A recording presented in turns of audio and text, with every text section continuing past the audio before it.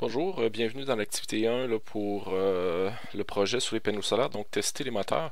Donc euh, une fois que vous allez avoir activé le lien à partir de la page du projet, vous allez tomber sur cette page là dans laquelle on va vous expliquer un petit peu comment faire votre circuit. Ensuite de ça, aller voir les vidéos puis le code j'ai déjà réalisé le circuit, donc si je vous présente là, euh, une fois le circuit relié, donc j'ai relié mon Arduino avec l'ordinateur, j'ai fait mes branchements, puis j'ai placé, comme je demandais, là, placer une feuille en dessous pour euh, indiquer là, euh, moteur sur l'axe DY, moteur sur l'axe D, gauche-droite. Comme ça, on va pouvoir savoir dans quel sens tournent les moteurs là, en fonction du projet sur le panneau solaire. également, il n'est pas mentionné là, mais euh, dans, sur la feuille, mais ici j'ai placé aux extrémités des deux moteurs un petit morceau de papier collant euh, pour ça aide pour savoir justement dans quel sens tourne le moteur. On peut le faire en mettant nos doigts dessus, mais visuellement c'est plus facile de le faire lorsqu'il y a un morceau de papier collant sur euh, le montage. une petite précision, là, préférablement lorsque vous allez faire votre programmation, bon vous avez besoin de votre fil, mais assurez-vous que votre source de courant ici avec vos batteries est éteinte quand vous envoyez le programme, puis avant d'ouvrir votre source de courant, euh, retirez votre fil, puis ensuite de ça, mettez l'alimentation, le programme va débuter, puis vous allez pouvoir faire vos vérifications. Donc, entre chaque téléchargement, assurez-vous de brancher et débrancher votre appareil.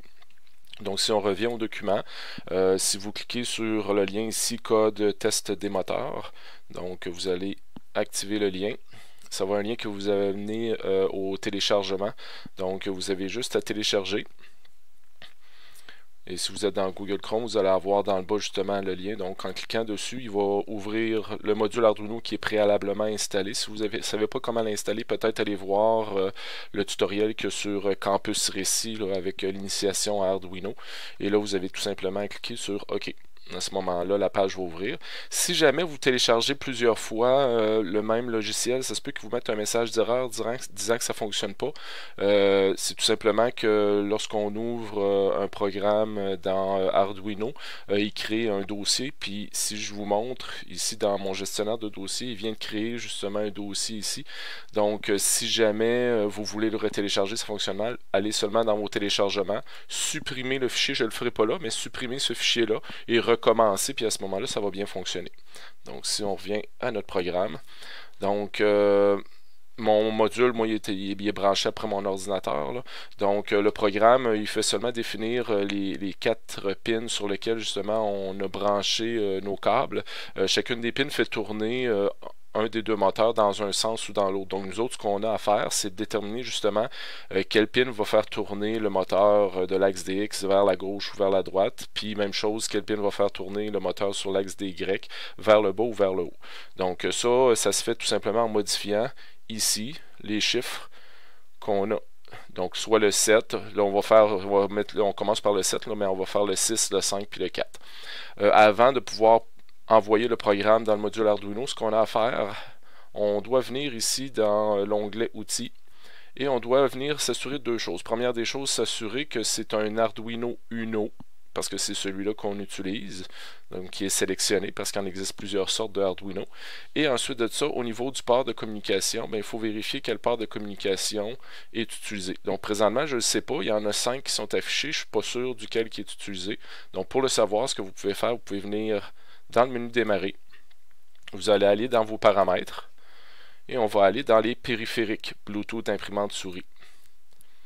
Et là, vous allez voir normalement les paramètres, les, euh, appareils apparaître. Puis là, ce que vous allez chercher, vous allez chercher ça ici, un CH340. Ça se peut qu'il y ait d'autres noms. Et là, on voit ici présentement, il est sur le port de communication 16. Donc, c'est cela qu'on va sélectionner. Donc, je vais fermer ça. Et je vais venir dans Outils, dans le port. Et le port que je vais sélectionner, c'est le port numéro 16. Donc, chaque module Arduino possède un port de communication que l'ordinateur va créer. Donc là, si vous changez de module, il va falloir refaire la séquence. Mais tant que ce module-là est branché, il va le reconnaître, puis vous allez pouvoir l'envoyer euh, dessus. Donc, euh, tout ce que j'ai à faire, une fois que c'est fait, j'ai pas de modification pour la première fois à faire. Le programme, ce qu'il va faire, c'est qu'il va faire tourner le moteur pendant une seconde. Donc, il va envoyer du courant high. C'est comme dire on met l'interrupteur à on il va envoyer du courant pendant une seconde, puis après ça, il va le mettre à l'eau, donc il va le mettre à off pendant 10 secondes.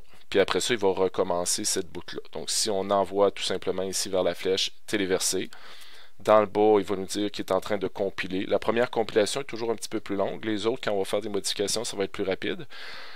Et une fois que ça va être terminé, il va marquer le téléversement terminé. Donc, téléversement terminé. À ce moment-là, ce que je vais faire, je vais débrancher mon câble.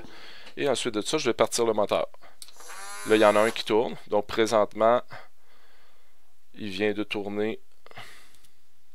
Un instant, on va recommencer. Il vient de tourner, c'est le moteur de l'axe DX qui vient de tourner vers la droite. Donc là, ce que je vais faire, je vais prendre une note. Pardon.